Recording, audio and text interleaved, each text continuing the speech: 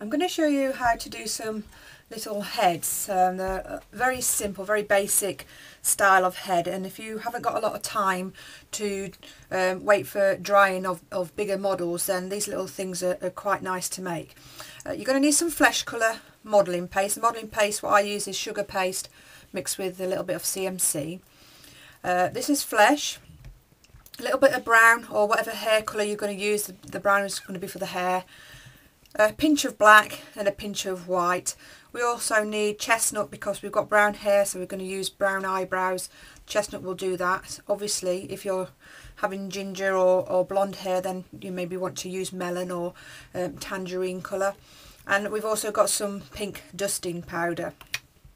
The tools that I'm using are what I call basic modelling tools. They're all in a basic modelling toolkit that I tend to use. I've got a small rolling pin, a small dust brush, a large dust brush, glue brush and a small paintbrush, a triple zero that one is.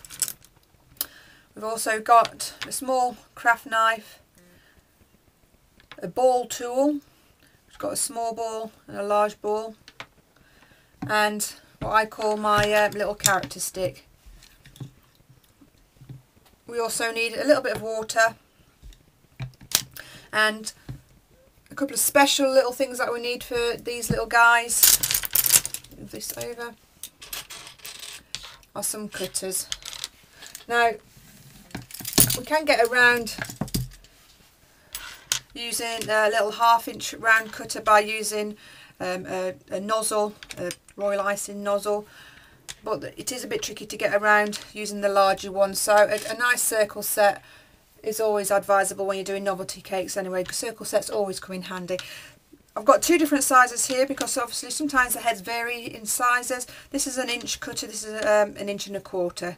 So basically 15 mil if you're working in millimeters 15 mil 25 mil and 30 mil. Now we're going to start with the the flesh modeling paste. I'm just warming it up getting it pliable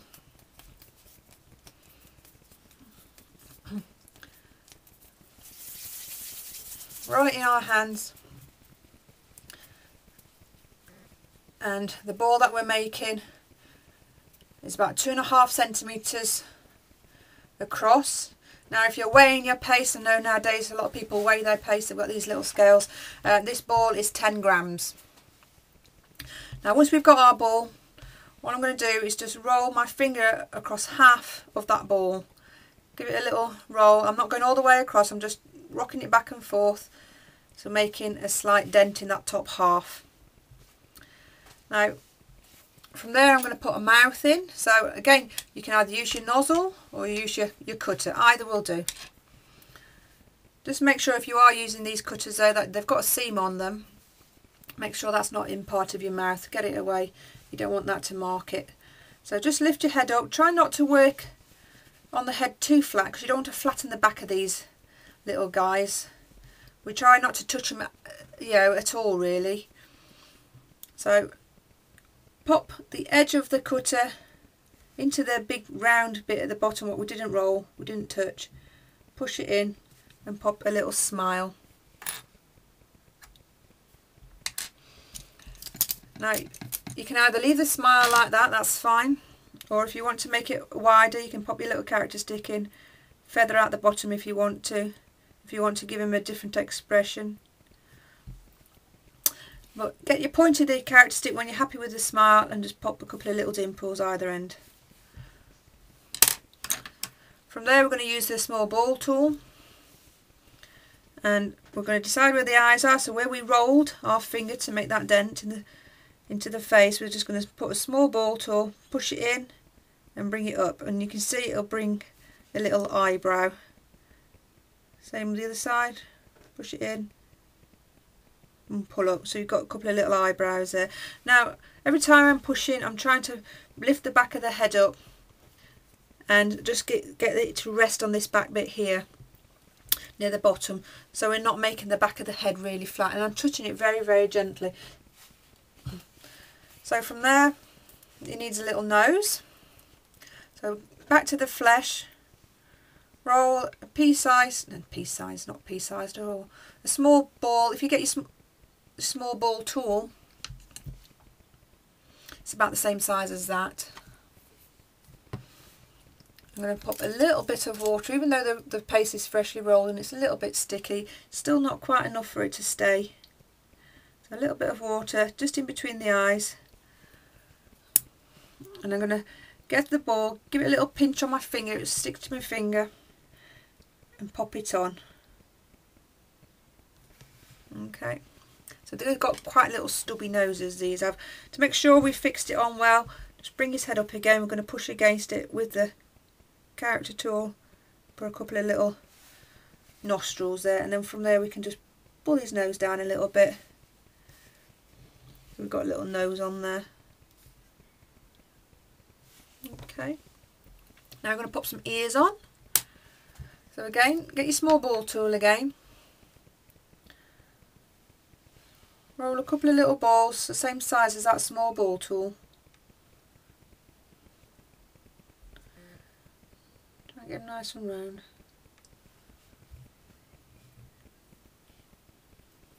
Okay. Not quite the same size. Try again, put a little bit more to it. There we go, get another little roll. And with a small ball tool,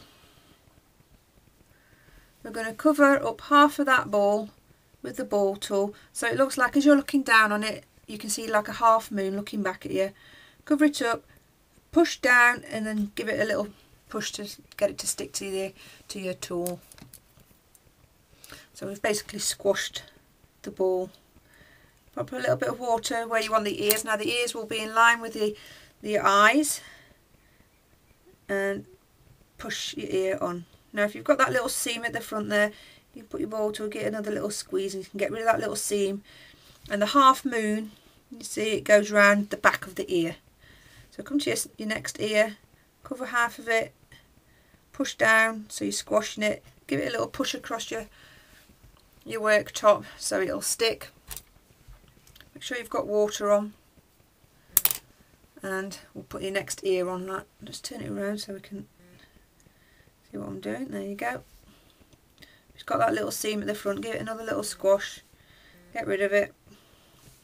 Got some little wing nuts on him now, look. Okay. So, from there we need eyes. So again, a little drop of water inside the sockets. Going back to the small ball tool again. Now, if we roll two, two little black balls the same size as that small ball tool, then we know they're going to fit inside those sockets because that's the size that we made and then we made it with that tool didn't we? So roll the black two balls. Ooh. size we need. Oops come here. Oh they're very sticky these ones are. Pop them into place So we've got a bit of water, get off, got a bit of water in the sockets so they'll stay there easily. Just clearing away because black's awful, it gets everywhere. It sticks to anything, so just brush away any bits what shouldn't be there, any of the colour what might have transferred. And then going back to the white, we're going to roll Him over there a second. Roll some white.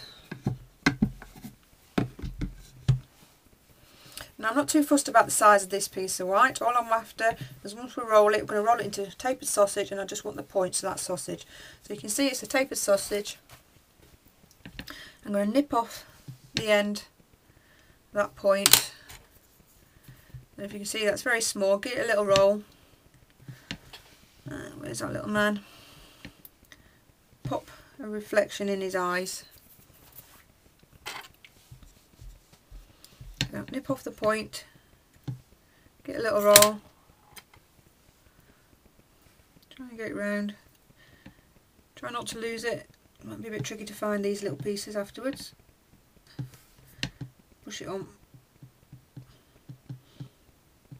Now the black was very sticky so we didn't really need a a lot of water, just what the dampness of my brush stick that white on, but um, you might need to if it's uh, if you've used a bit of icing sugar or it's not as warm a day as it is today. Now that's all the paste on there. All we need now is just to pep him up with a bit of blusher and some um, eyebrows. So we'll start with a blusher. Pick him up. And let's say try not to pick him up too much, but we're going to need to pick him up to move him. Pop some blusher on his cheeks. Now if you've got water around his nose and his eyes, you might want to wait a little bit for it to dry off before you start putting this blusher on. Got a little hair there. There go. So I've just pepped his cheeks up a little bit. Pop some around his ears. I'm going to pop a little bit on his nose. Around his forehead. A bit on his chin. Then we're going to use a small dust brush to pop some in his mouth. Just tip him back a little bit, get it in his mouth.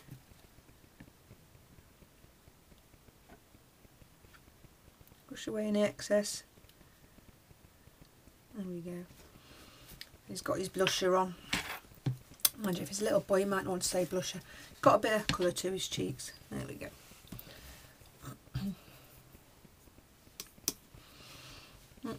Put a little bit of water in his mouth. You can either leave their mouth like this if you want to. It does look quite nice like that. It doesn't really need anything else. But if you want to put some teeth in there, get some white, a little tiny pinch. Roll two tapered sausages, very small. Use your character stick if you get uh, the flat edge. Lift it, the teeth up with that. You can just pop them into place. Again, your paste is soft though, so just remember that.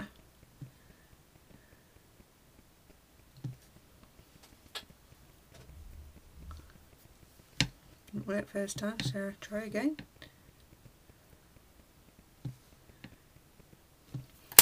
And I'm just going to use my brush because the character stick is quite hard and I don't want to mark the paste so I'm just going to use the brush there you go, you've got some teeth in there now. And we're just going to pop those eyebrows on. So where we, we push, pushed the ball tool up and lifted it, we came, created that bit of a brow. You just follow that around, just got a couple of little lines, that's all it needs, doesn't need a lot. That's just a colour paste with a tiny bit of water. There we go. It's got his features on now. So he needs some hair. I'll pop him to one side.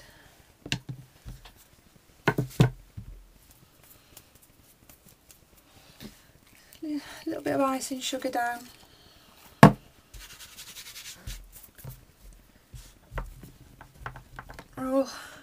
Paste out quite thinly. Make sure it's not really stuck. There we go. And this is what I said about the cutter. You've got to check with the size of your head. If you get a cutter and it will fit inside the, the cutter, you know you that's the size you need for the hair. Now I'd say it's a slightly larger one. There's a little bit of a... His head doesn't quite fit inside the one that was an inch. So if you go for slightly larger. So I'm using the one and a quarter cutter for this little guy.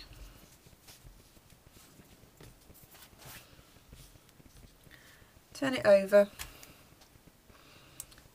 and I'm going to put some water on his on this one. Now at this stage I'd more likely just pop this on its body now than try and carry on doing it while it's on the worktop but again once it's on the body you've got to be very gentle with it. It won't take it won't accept all that pushing about too much. I'll grab your little circle, pop it on your on your little man's head. Just make sure it touches from ear to ear. Goes around the back. See, goes around the back and then get a little push around the front. Okay. And you can get a little tweak if you want to give it a receding hairline, just tweak it back a little bit if you want to. Bring it round. But that's quite acceptable for a, for a little a little model. I'm saying if you've got to do something a little a quick model, if you're only doing the model about three inches high, then this sort of size head is ideal really.